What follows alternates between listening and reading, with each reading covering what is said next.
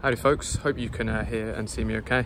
I'm just doing a quick short to uh, explain something and show you something cool. Um, I just had a disaster at work. My uh, 6mm barb um, disconnected from my uh, water-fed pole um, hose.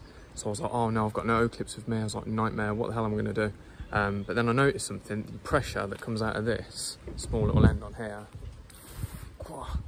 yeah, um, it's pretty powerful. So I've concocted this little device together um, basically, so I had no way of rinsing off um, what I was doing, so I can't get any water to come out the brush head of my Water-fed pole, so I've got no spare parts on there.